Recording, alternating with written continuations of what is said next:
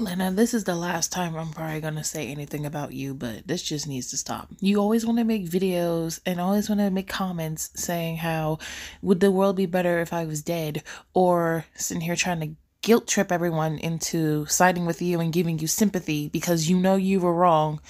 And you only do you only do this every time you get hate or backlash for something that you caused or you did. Like seriously, stop trying to guilt trip. It only makes you look worse. It's seriously annoying. Just cut it out. And to be honest, you really do need to own up to your mistakes. You're stubborn, you're too toxic, and because of this behavior that you keep going on with and you keep sticking with, it's the reason why me and you are not cool, and it's the reason why me and you are not friends anymore, okay? It's the reason why me, Cleo, Mast, and you, we're all not friends no more.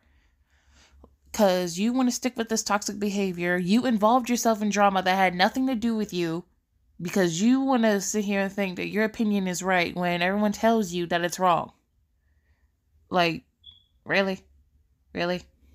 Yes, we get it. It's your opinion, but you're going to get backlash for it and hate, like, no matter what it is.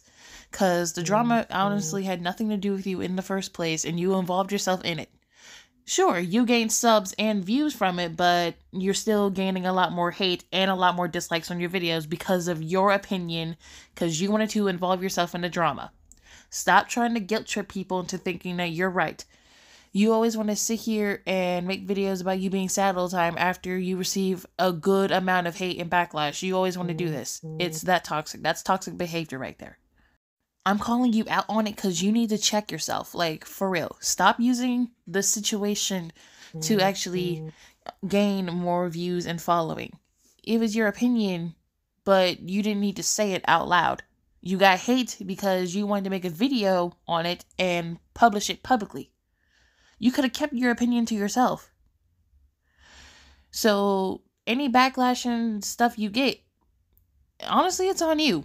It really is. And Lena, I don't care if you hate me for the rest of your life. Stop trying to guilt trip when you know you're in the wrong. Stop trying to stand your ground on your opinion when you know everyone else is going to be against you.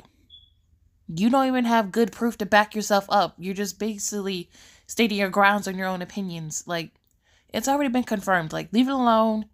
And honestly, just take a break from social media since you can't handle all the hate that you're getting.